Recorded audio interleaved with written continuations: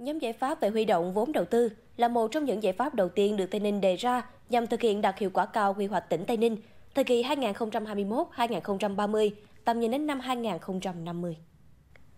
Tây Ninh sẽ tăng cường huy động vốn đầu tư theo hình thức đối tác công tư PPP, coi đây là giải pháp đột phá để hoàn thiện cơ sở vật chất, hạ tầng phục vụ phát triển kinh tế xã hội và hướng tới mục tiêu xây dựng kết cấu hạ tầng đồng bộ hiện đại,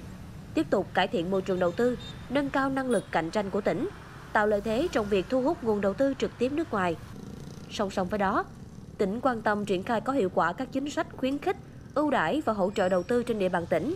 sử dụng nguồn vốn đầu tư công hiệu quả, đóng vai trò hỗ trợ, dẫn dắt để thu hút tối đa nguồn lực từ các thành phần kinh tế khác, ưu tiên nguồn vốn ngân sách địa phương, đồng thời tích cực hợp tác với các bộ ngành trung ương để tranh thủ tối đa các nguồn vốn trung ương, vốn tín dụng ưu đãi để đầu tư kết cấu hạ tầng kinh tế xã hội.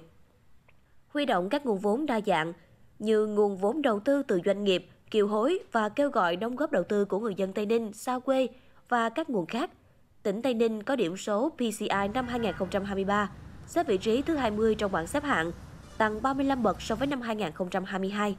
Chỉ số PCI tăng 23 bậc, vị trí thứ 6 trong bảng xếp hạng là một lợi thế lớn trong công tác huy động nguồn lực cho đầu tư phát triển.